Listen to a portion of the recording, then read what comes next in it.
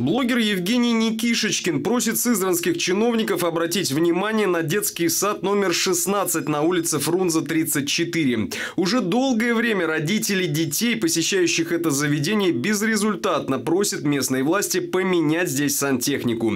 В детсаду установлены унитазы, вмурованные в бетонный пол. Малышей они приводят в ужас. Многие из ребят просто отказываются подходить к ним. «Помогите, пожалуйста, нашим детям», – восклицает автор поста.